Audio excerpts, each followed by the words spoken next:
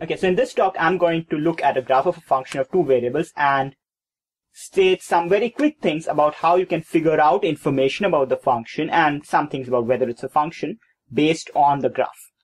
Okay, so your function f of variables x and y, the graph is given by z equals f x comma y. So the x and y axis are the independent variable axis and the z axis is the what? So x and y are the independent variables and z is the Dependent variable. dependent variable. Yeah.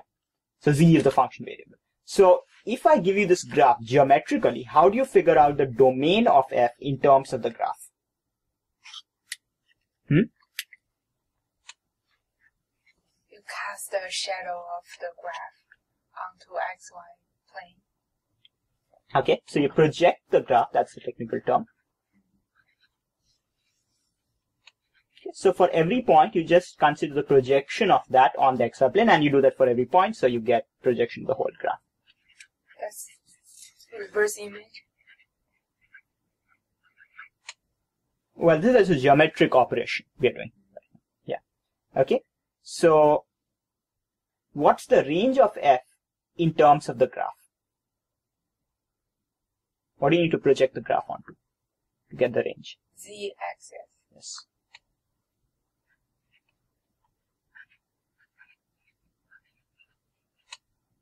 So you can always go back and think of functions of one variable and how you do things there, and then just carefully generalize to multiple variables. In this case, just two variables.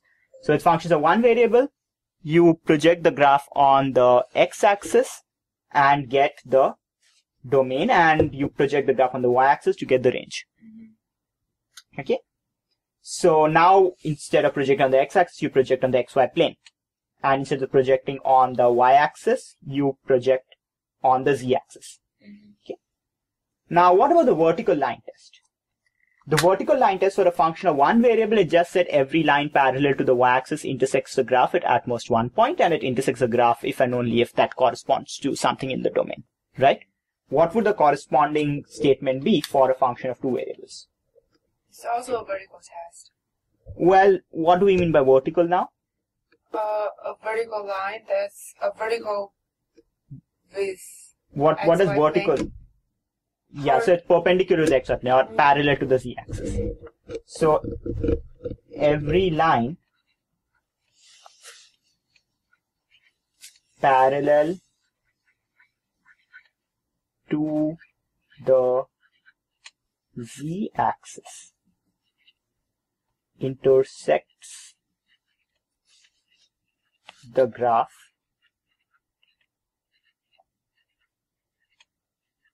at at most one point. Now, what does a line parallel to the z-axis look like in terms of its equations? So you have to be a little careful, as you hopefully know. To describe a line in R3, how many equations do you need? Two.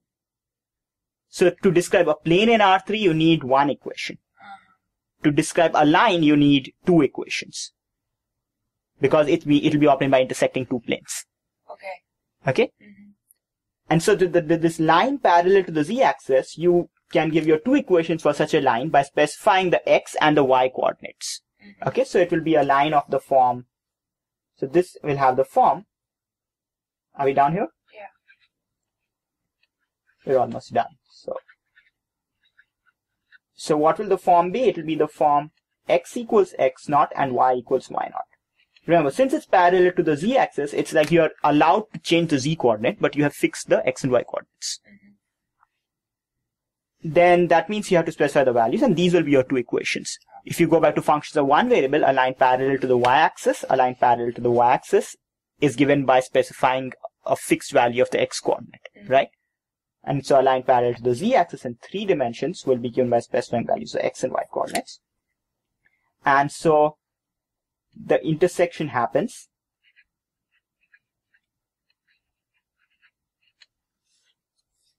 the intersection is non-empty if and only if this point x naught y naught is in the domain.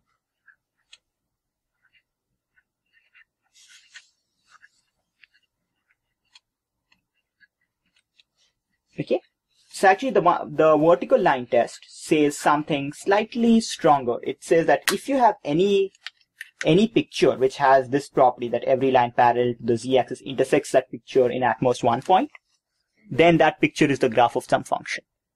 And you can reverse construct the function from the picture. Okay. Right? Okay.